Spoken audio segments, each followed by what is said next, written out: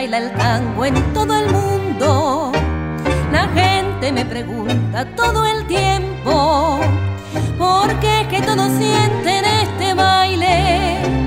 No importa de qué parte yo provenga, da igual que sea joven o canoso, da igual que viva en rancho o sea rico, ya todos al bailar somos iguales. Hello from Buenos Aires. Today we are going to work the forward ocho technique. So I know that is a very important point because we are doing all the time forward ocho while we dance.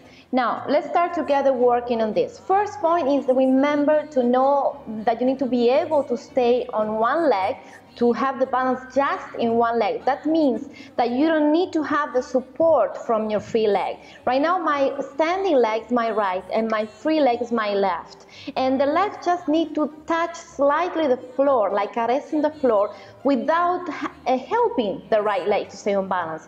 And for that reason, we need to know how we accommodate the balance on one leg.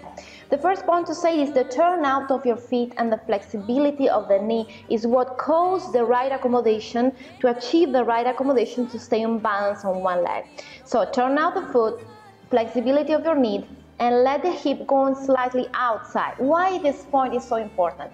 Because if I stop my hip, my body is going to tilt. So if my body tilts that way, what happens is when I'm dancing, I'm going to hang on my partner's hand. I'm going to grab him and try to find the balance with his help. And this is not good for the dancing. So turn out, flex the knee, accommodation of the hip. At this point, I need to be able to use the rotation of my hip to use it as an impulse to be able to pivot okay to rotate my feet. So the rotation of my hip is causing the rotation of my feet. As you see my hip is facing the way I should go and my chest is still toward that direction. I I don't say that it's on that direction because I can't force my chest to stay completely parallel to the wall. It's impossible so what we need to do is, by using the abdominals, the rotation will make us to be almost facing him. With, uh, when we're talking in the dance, we're talking about there's a different contact point. And that's the moment where we change from this original contact point, when we pivot, we switch to the next contact point, okay? So it's kind of sliding the chest together in the embrace. At this point, I need to go to my forward step. My forward step needs to be on the same line than my standing leg. So my standing leg is telling me which is the line to go.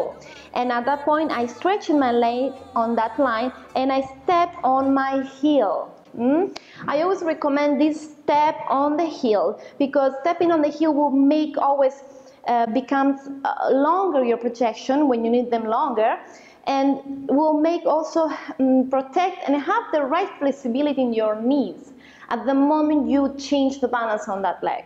So you stretch in the leg and the moment you go, but before you can even complete the extension of the leg, because this becomes too strong of the knee, then you lift up your toes from the floor and you are arriving on the heel. This arrival is very soft because what we do is we combine the energy from your standing leg.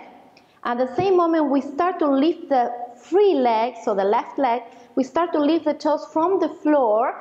That's the moment we push into the floor with a standing leg and we lift and we arrive on the heels. This is something that you should practice, but remember that the previous technique you need to achieve in your body is the walking forward, because a forward ocho is a forward walking with a pivot. I do my pivot and I do the forward walking the pivot, and the forward walking. So it's fundamental to be able to do, to, to learn how to do the forward walking. Now let's do it again and think about what we're doing.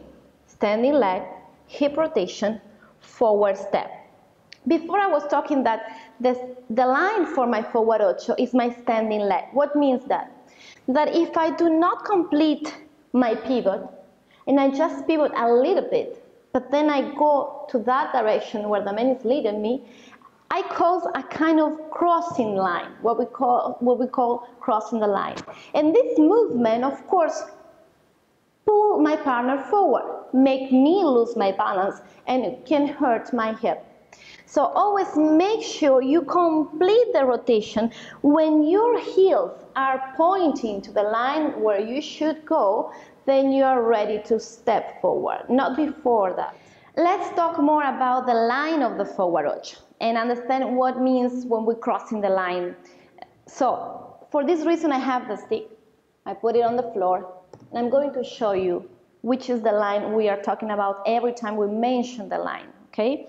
So if I have the foot leg in this position, turn out the foot, my line is right in between my feet. If I need to do a forward step, this will be the right position. This will be a crossing of the line. The crossing of the line, if I'm doing a forward step, forward ocho, I will pull the man forward. I'm losing the balance outside. If I'm opening the line, I will invasion the man, so the man will feel I push him backward. So it's very important to complete the pivot hmm, until the moment that I'm able to keep the contra motion, but when I step forward, my standing leg is in the right position for me to step forward on the line. See? This is the idea of the line, okay? So what you need to do is doing the right pivot before arriving in that line. Complete the rotation of the hip so your standing leg is facing the line of, the line of dance. Now I do from the beginning again. Pivot. Flexibility at the end of that. Standing forward. Hip rotation again. So complete your pivot. Make sure you're facing the line of dance with your hip and with the connection between your heels. And go forward. As you can see, my hands are sliding on, the, on this uh, stick, on the bar, because I don't need to grab to go. This means that I'm using his body. So go, pivot, go, pivot, go, pivot, always. And then start to work about the musicality, the energy of the projection, the size of the step. Could be a very tiny forward ocho, bigger, bigger, bigger, small, medium size. Hmm?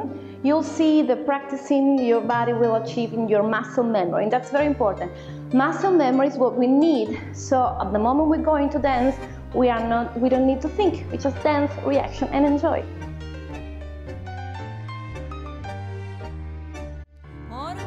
Baila el tango en todo el mundo. La gente me pregunta todo el tiempo porque es que todos sienten este baile, no importa de qué parte yo provenga, da igual que sea joven o canoso, da igual que viva en rancho o sea rico, ya todos al bailar somos iguales, nos une el sentimiento del botar.